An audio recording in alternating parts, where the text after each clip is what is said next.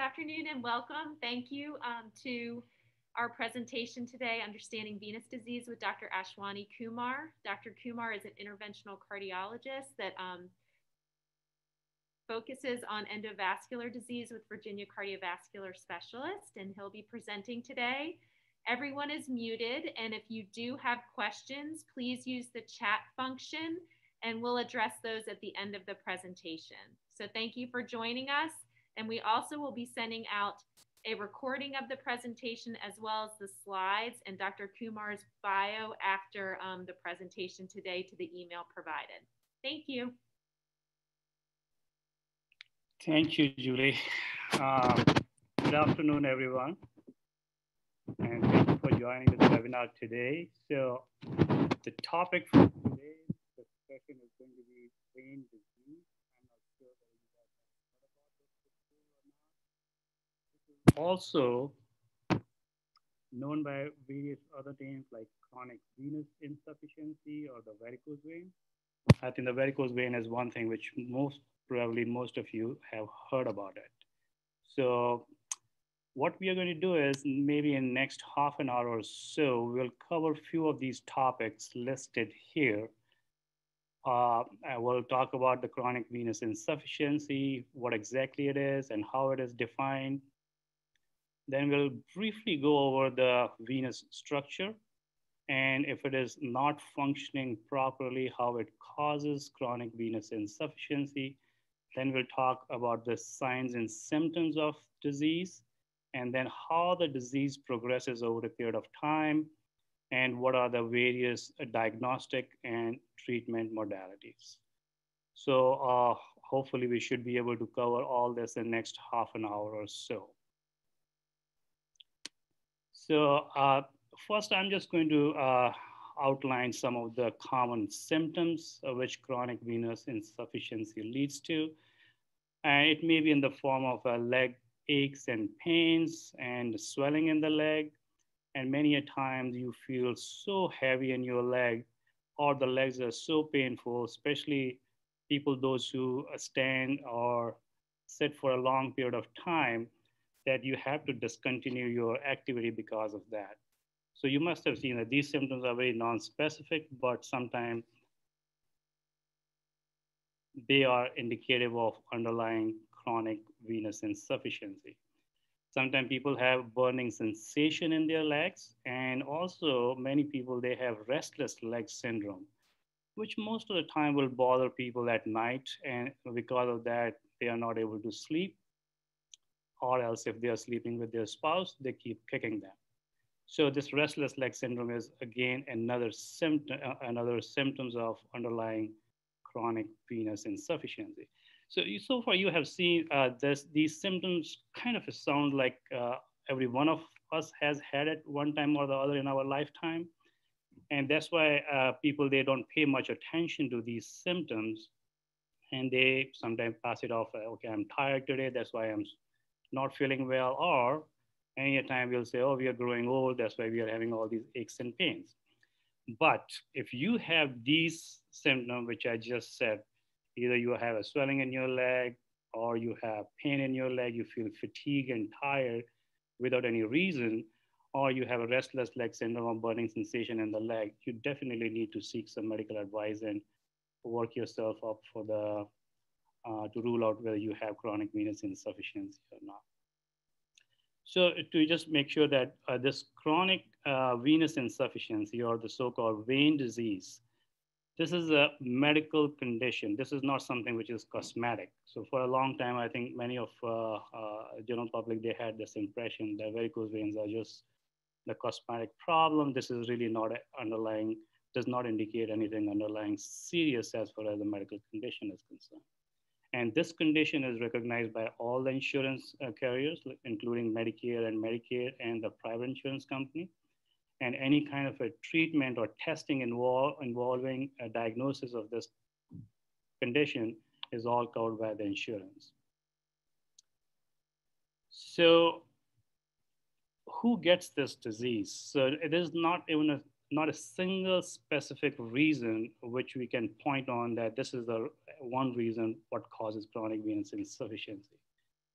what we have come up with the risk factors, people, those who have more number of the, these risk factors, they're more likely to develop chronic venous insufficiency in the long run. So female, they are more prone compared to the men. And family history is very important. If you have had a family member, especially if your mom or your sister, they have had varicose veins or chronic venous insufficiency in the past, they are likely to uh, uh, give it to their uh, siblings or, uh, or their uh, kids. So many a time you may or may not know the family history because a majority of the time you will see in next few slides that this just goes undiagnosed. People don't even uh, go to the doctors to seek any medical advice for this kind of a problem. And other risk factors are uh, this more common in uh, patients, those who are above 30 years of age. Any profession which involves prolonged sitting or standing, these people are more prone to develop uh, this problem. And obesity, multiple pregnancies, heavy lifting, and smoking. All these, uh, they will predispose you for development of chronic venous insufficiency. So this uh, disease it affects all people regardless of the age or gender or race. As I said, the varicose veins are, again, it is a real medical condition. Whereas on the other hand, uh, you, uh, many of us, we have had spider veins as well.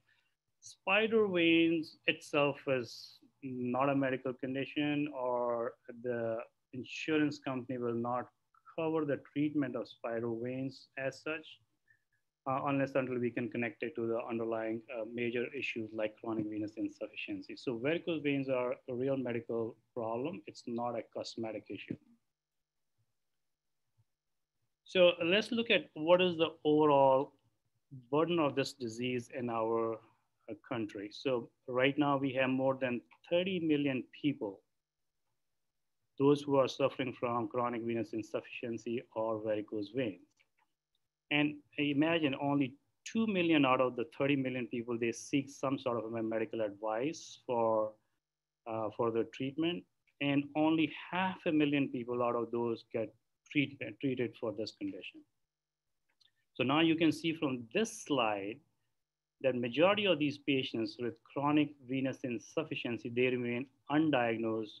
And of course, if you don't diagnose, you're not going to treat them. So it has been estimated that people, those who come for the uh, any kind of medical advice related to chronic venous insufficiency, they have had this problem for almost 35 years or more before they come for the treatment.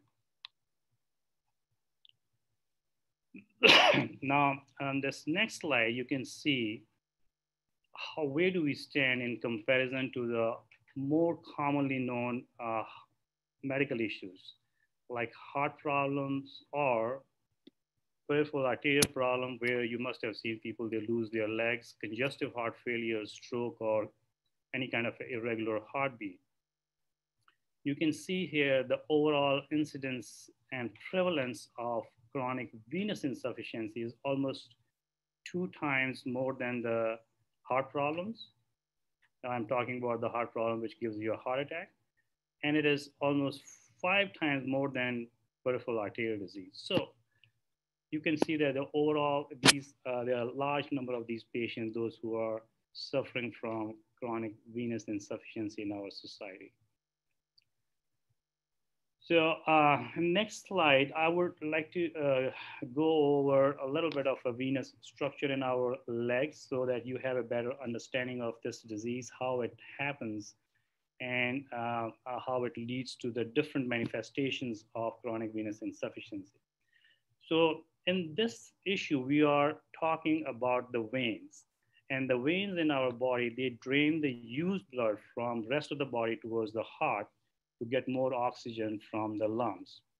So now let's focus on the legs because uh, the chronic venous insufficiency affects your leg most of the time. So if you look at the legs and the blood in the vein, that's going to flow from your foot all the way up towards your heart. So uh, there are two sets of these veins in our legs. One is superficial uh, sets of vein. You can see in this slide here, we have just made a little cartoon on the uh, right-hand side. Uh, the superficial system is close to the skin, whereas the deep system is inside, deep inside the muscles and behind the bones. But again, they are all interconnected with the uh, veins. We, I call them a bridging veins or uh, the medical terminology for these veins which connect the deep system with the superficial system is called the perforating veins. Now, what happens is this blood, now, as I said, it just drains the blood from your foot all the way up into your heart to get some more oxygen from your lungs. So you can imagine like if you are standing, the blood is going uphill from your foot towards your heart. On the other hand, the gravity is trying to pull it back to the foot. So that's the nature of the law. Gravity is trying to pull everything towards the earth. So the blood in a normal functioning veins will flow only in one direction. And the reason for that is the presence of these small, tiny valves, which you can see here in this cartoon here, you can see my pointer. These are the small, tiny valves. They are, I call them a check valve or one-way valve. They open only in one direction. So the blood in a normal vein, as you can see on the left-hand side here, will flow only in one direction. If the gravity tries to pull the blood down, they're going to close at that time. So blood does not flow backward. So what happens in a chronic venous insufficiency is the size of the vein, it gets bigger. You can see it here. Now what's going to happen is those valves which were closing before, they get separated and they do not close when they are supposed to close in case the gravity is trying to pull the blood down towards your foot. So in this condition, now the blood is not only going to flow up towards your heart, the part of it is going to reverse back once the gravity start, starts working on your feet. So reason I'm trying to uh, focus uh, so much on this one is people, those who have suffered from this disease, they have a very typical symptoms of swelling in their legs. They say when they get up early in the morning, their legs, they look perfectly normal. They can see their ankle, they can see their bones. But that, as the day progresses, the swelling keeps increasing over a period of time and it's worse towards the end of the day. It makes sense, correct? You can imagine at night you are lying down flat in the bed so gravity is not working on your feet. So blood is flowing only in one direction. Even if these valves are not closing, that doesn't matter because there is no gravity working on your feet. The moment you are up on your feet in the morning, the blood starts flowing in a backward direction as well, in addition to flowing upward. A part of it is will flow backwards. So what happens is because of that, the pressure inside the vein, especially towards the most dependent part of your body, which is going to be your ankle, feet, and leg. Pressure inside the vein increases, and that leads to the swelling in the legs because the water from the blood comes out and it starts accumulating in the most dependent part of your body. Not only that, what happens is because of now, look at my arrow here. This is one of the superficial vein I'm pointing towards most of the time, this disease affects your superficial system only. So not only it will give you a swelling in your leg, if the pressure inside vein, in this vein is more than normal, this pressure will get transmitted to the branches like this one, this one, and this one here on the side. When the pressure gets transmitted to these other veins, so these are the veins which ultimately they get bigger in size and forms the varicose veins. So now you can uh, understand that the whole problem starts from backward flow in the veins. Once these valves becomes incompetent, they are not able to close when they are supposed to close. All these symptoms are related to that incompetent valve. So now how does it manifest? Uh, symptom-wise, you will have, which I have already told you before, right in the beginning of my talk, you will have a pain in your leg, heaviness in your leg, burning sensation in your leg, fatigue, tiredness, and sometimes people can have uh, either itching in their leg when the skin gets very excoriated over a period of time because of the chronic swelling. And many a time the patients will have cramping at night. They will wake up from their sleep because of the cramping. And um, as I said, many patients, they will have a restless leg syndrome. Now, if you, if when we examine the patient, so we find a lot of other symptoms and manifestations of chronic venous insufficiency. That's like a spider vein. It is one of the uh, feature uh, of the uh, chronic venous insufficiency, again, for the same reason, when the pressure inside the main vein, which is uh, one of the superficial vein increases, and this pressure gets transmitted to the smaller vein, which are underneath the skin, and they start getting, uh, they start uh, getting bigger in size. Normally, we will not see these veins, but when the pressure is high in the venous system, because of the backward leak, they start becoming more prominent. To, to start with, sometimes the manifestation of underlying chronic venous insufficiency could be just the spider vein. And uh, if they involve the bigger vein, they can give you a varicose vein. And the next one is the swelling. As I said, the swelling is again because of the backward pressure, backward flow, increase in pressure inside the venous system. And uh, this typical feature is less in the morning when you wake up, and then kind of it gets gradually bigger and bigger as the day goes by. When this swelling becomes chronic and persistent later on, if you do not take care of this disease on time, it leads to the discoloration of the skin. As you can see in this picture here, there is a little brownish discoloration of the skin. Again, this discoloration happens because some of the red blood cells, because of the high pressure in the venous system, they leak underneath the skin and they break down and give you this discoloration in the skin. If the disease is not taken care of, it keeps progressing further. It leads to the cracks in the skin, which ultimately leads to the formation of sores in your legs, especially around the ankle or middle part of your leg. Excuse me. And once this is the stage, most of uh, most of I would like to prevent uh, that this disease should not progress to that stage. If you do not take care of this in the beginning, this is what the ultimate fate is. Uh, of this uh, this disease leads to the chronic ulceration, and sometimes they are painful. That this will interfere a lot with your daily routine life. And most of the time, uh, these patients are uh, being treated by the wound care specialists. So uh, you have seen so far, uh, uh, so what are the various manifestations and spectrum of uh, clinical uh, signs and symptoms? So the wound is the one which is almost like a towards the end of uh, the spectrum of this disease that once you have a wound formation, so your disease is pretty far advanced. It's not that we cannot treat this disease even at that point. Yes, we can and one thing to keep in mind is uh, most of the non-healing wounds on the foot or the leg, they are secondary to chronic venous insufficiency. So this is to the tune of 70 to 90% of these wounds are because of that. There are certain other reasons like some skin problems or another big issue is that if you have some problem in the blood flow, if you're not getting enough flow to your uh, foot because of the compromise in the blood flow to your foot can also give you chronic vein, chronic ulcer on the foot. But for all practical purpose, 70 to 90% of these uh, ulcers are secondary to chronic venous insufficiency. And as I said, it's not that if we, even if we diagnose it at that stage, there is a treatment for this, and the, after we treat it, the wound kind of uh, heals up pretty quickly.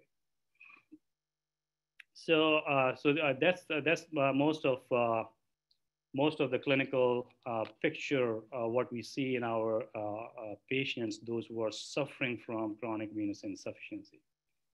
Now, the next question comes: How do we confirm it? How do we diagnose it? Because, as I said, these symptoms are a little non-specific and can be because of many other reasons, like having a pain in your leg or itching or cramps. There are so many other reasons for that. But we need to confirm it that this is the underlying issue. So the confirmation of this disease is very simple. And uh, the test we do is the ultrasound of your uh, veins in the leg, or some people, they call it a Doppler test, or some people, it's also known as a duplex ultrasound. So this is uh, almost uh, different names for the same test. And uh, again, this is something to keep in mind if your you go to your primary care physician and they refer you for this test, this test required special skills. This is not available like anywhere, wherever people do ultrasound. This has to be done on the specialty clinics, those who run the vein clinic or the vascular clinics. So because the technician requires little special training for this, uh, so that they can pick up the disease uh, properly. So there's a little special way of doing this test. And our lab specializes in doing that in our offices at VCS. Uh, again, once you have had consultation with your doctor or the vein specialist, what they will do is after they have uh, taken your history and known your symptoms and examine you, and uh, then they have confirmed it by doing a test, they will put everything together and we'll have a plan for you how we are going to manage it. So as, as I said, management depends on whether in what stage of disease you are. Are you in the beginning of the uh, disease state or are you at a very well advanced state, like a, uh, you already have had wound on your uh, foot or your leg? So once you have had a diagnosis, so now the treatment options include, there are two main uh, treatment options here. So the first treatment, what I'm going to talk about, this is the conservative treatment and which consists of uh, wearing uh, compression stockings, exercise, doing the leg elevation, and doing some lifestyle modification like reducing weight because um, obesity is one of the very important reasons which leads to the chronic venous insufficiency. Now, it is not that you can wear any kind of a compression stocking over the counter. Uh, I will not advise that. There has to be a certain uh, parameter which we uh, need to meet for the compression, which we have to apply on these veins to get the benefit out of it. So your doctor has to prescribe the compression stocking. It has to have a certain amount of compression on it. And there are different lengths and sizes of these uh, uh, stockings, whether you need to wear only the ankle high, knee high, or maybe all the way up to your thigh. That all depends what we see on the ultrasound examination, at what level that backward leak is starting in your veins. So the, this should be in consultation with your uh, the vein specialist. Don't just go and buy over the counter compression stockings, they might not work. Now, as far as this conservative management is concerned, this is just a temporary treatment. This is not going to give you a 100% relief. If, if you have to, uh, this might give you a temporary relief only as long as you use them. If you stop using it, and then the, uh, the, the symptoms might come back again. So, but this is something which I need to uh, I, uh, uh, say here is that this is required by all the insurance companies that we use the conservative management on each one of our patients, those who have a chronic venous insufficiency, at least for a duration of six to eight weeks before we take the next definitive treatment action uh, on these patients. So what is next? So once you have used the compression stocking exercises, leg elevation, weight loss, once you have done it at least for two or three months, then we reassess the patient and then see where we stand. Many patients, by the time they come back in three months, they find a lot of relief in their symptoms just by wearing the compression stocking. Many of them, they say, we are just going to continue to do it uh, because uh, I think I can do it myself. I can put the compression stockings on. It's not a big deal for me, and I will do it for as long as I can do. So that is perfect, like if they can do it on a regular basis. Many patients, they cannot use the compression stocking because they are so tight at times, it's very difficult to put them on. For three months, they use it, they take one of, some of their family members' help. Even if they have seen the improvement, if they are not able to continue to wear the compression stocking and they take them off and the symptoms they come back, then we have to take the next step. So now as far as the next step is concerned, I call this is like one of the definitive uh, cure for venous insufficiency. So we have uh, various ways to treat it.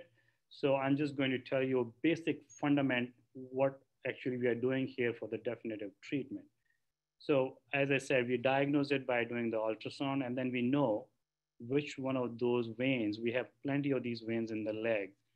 So which one of these veins uh, uh, uh, they are having a backward leak, and then we target those veins for the treatment. So what basically we do is we close that vein. We shut down the flow in that vein completely. I will tell you like how we do it. So once we have shut down the flow, the good thing is now there will be no backward flow if we have cut down the flow completely. Not only the backward flow, so also at the same time, those veins which were joining this main vein and causing the formation of varicose vein will also shut down because now there is no backward flow into the side veins either, correct? So, but the downside is that it will block your forward flow too. The flow which was supposed to go up into your heart to get more oxygen from the lungs. But body has, uh, a body compensates for it. We have so many of these veins in the body, so the blood gets rerouted towards the normal veins, which has normally functioning valves. And blood, st uh, uh, blood uh, still flows in an upward direction, but other veins will take over the function of this. So there are uh, uh, three modalities we have. One is the surgical vein stripping, which is one of the oldest method, but nobody uses it anymore because this was the method where uh, veins which were having a backward leak, they were removed completely under general anesthesia. So nobody is doing it now. So we have a more, a less invasive procedures we can do now and which can close the vein. I'm going to show you a little animation on these uh, uh, two procedures here I'm going to focus on. One of them is called uh, the radio frequency ablation. And uh, this is basically a heating catheter we put inside the vein and it will cauterize the whole vein and shut it down. And the other procedure is called the VenaSeal. And a layman term, I call this the medical glue. We inject the glue. You can see the glue gun here. Uh, you must have seen the kids, they use this glue gun at home when they inject the glue on different things. So this glue gun injects the glue into the vein and the vein collapses. So uh, let me just show you the uh, little animation on these ones here and you will understand it better.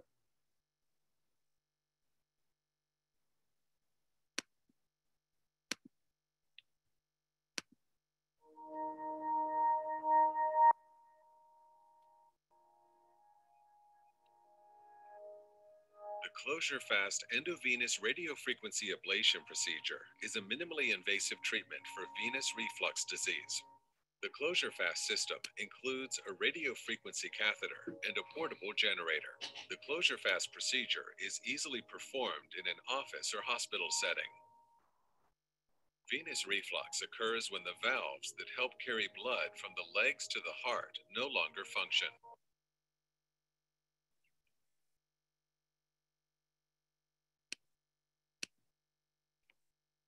Oh, I'm sorry, I don't know what happened to the animation here. It stopped for some reason.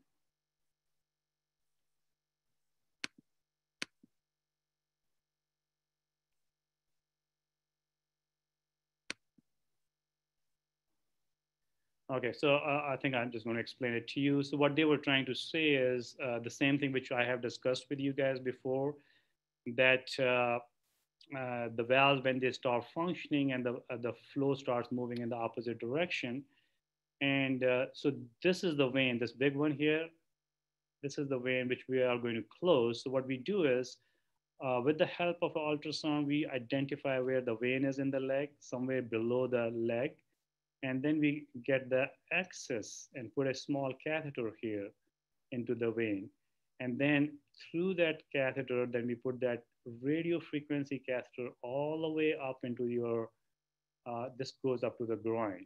And there are certain criteria like uh, how we, where we have to position it, we have to keep it.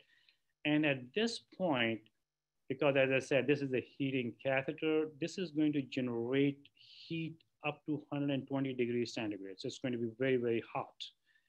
But so as that you do not feel this heat in your leg, what we do is we inject uh, local causing the blood to okay. pool in the legs. Came back. this reflux causes veins to expand, lose form, protrude from beneath the skin, and develop into varicose veins. During treatment, the vein is accessed using ultrasound guidance using standard endovascular technique by inserting a seven French sheath into the vessel. The ClosureFast catheter is inserted into the vein through the sheath, then advanced up and positioned two centimeters from the saphenofemoral junction, or SFJ.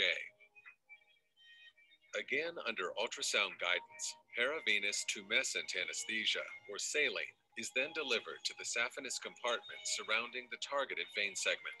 This so this is what we are injecting here is uh, this is uh, this is again uh, it contains the numbing medication and the fluid.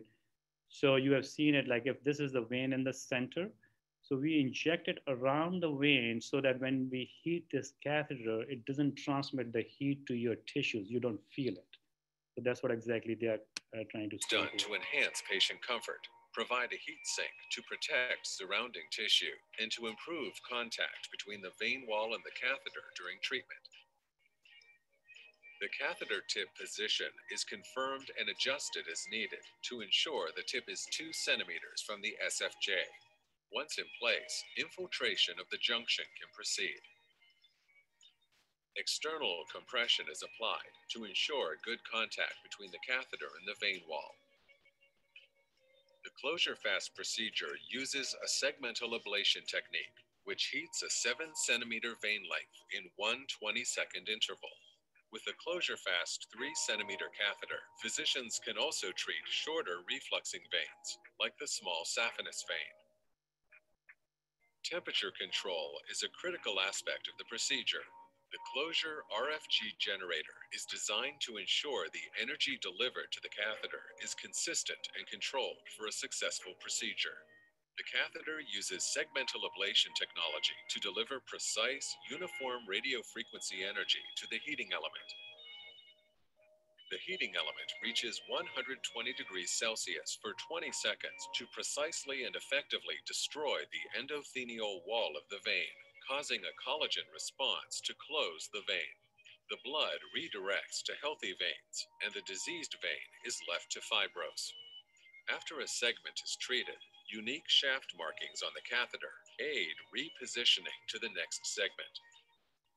The speed and precision of the ClosureFast procedure offers patients a rapid recovery with minimal discomfort while providing physicians with a controlled and repeatable treatment experience.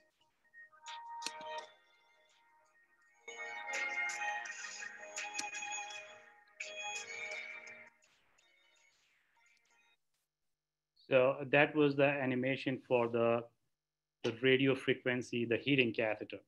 So let me also tell you, this is most of the time we do it on an outpatient basis, and this is done in our office. Uh, we have an office at Stony Point here, where we do it. And the preparation for the patient is like they they come to the office and they are given all the instructions what they need to do that day, uh, whether they need to take the medication or whether they need to stop some of the medication. We look at that list beforehand and then give them the instructions as uh, you have seen this animation and the radio frequency ablation, uh, because it generates heat and it does cause a lot of, uh, uh, uh it requires a lot of injections, at least seven or eight different places in the leg to cover that vein with the anesthetic agent so that you don't feel it. So you will get like six or seven injections to give you the numbing medication.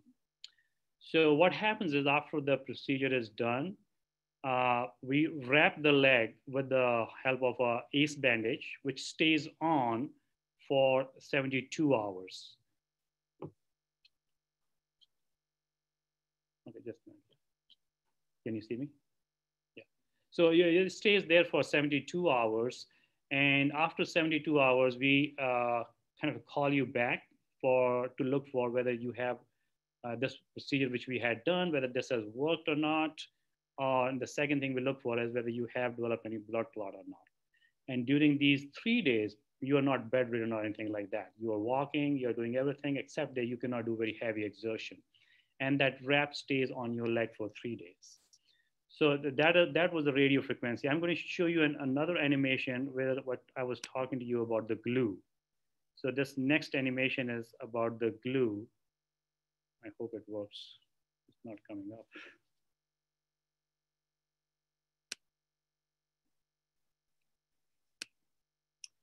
So uh, I hope it comes up while I'm talking to you guys. Uh, so the glue, the, the, the treatment, the glue treatment differs from the radio frequency. Again, this is done in an outpatient uh, uh office. The main difference is when we inject the, uh, the glue inside, we have to give you numbing medication only in one spot, the place where we are going to go inside your vein. And that's the only injection you get. Rest of it is we, don't not, we do not have to numb the whole length of the vein where we are injecting the glue. So that you can see here the spot where the little green tube went in. We numb that area and rest of it is the tube goes in. And this is the tube, this blue tube through which we are going to inject the glue now. And you will see it here. Um, so we have to, these are the, these are the, these things which they are showing you, they are for the physician, those who is doing it. And, but what I want to show you here is the glue is going to come here and we know exactly where we are supposed to deliver the glue. And this is the ultrasound probe here.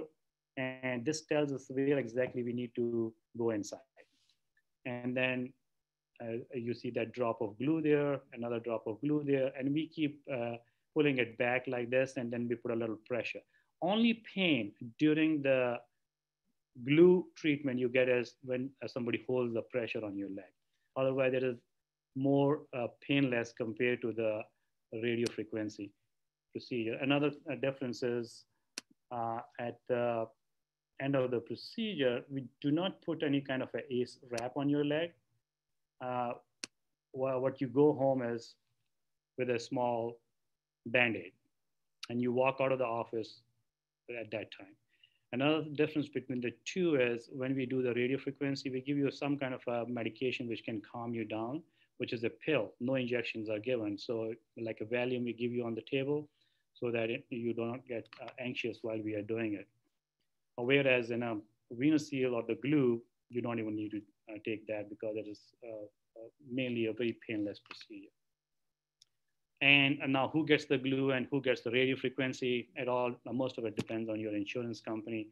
And also it depends uh, if you're allergic to certain things because glue uh, can, uh, some people can be allergic to this medical glue and, and can have a, allergic reaction to it. So then we try not to use it.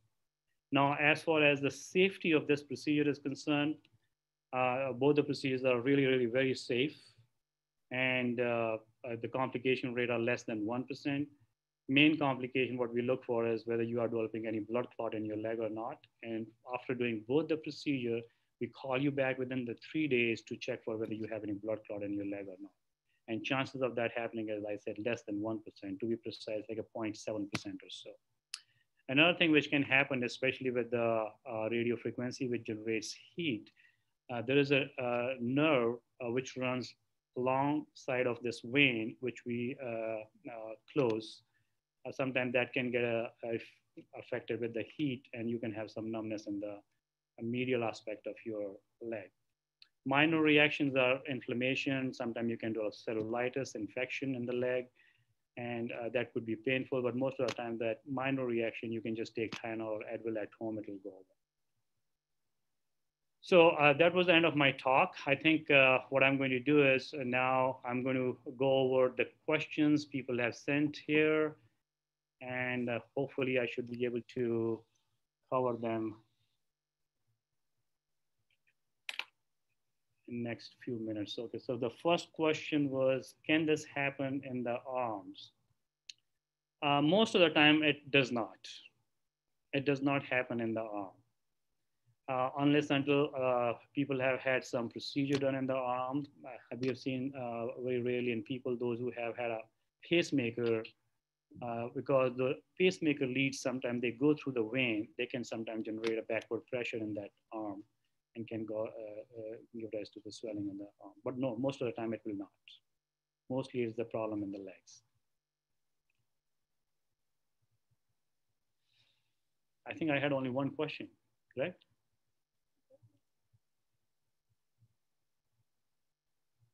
Okay, I'm, I'm still here. If you have any question, you can uh, send it through the chat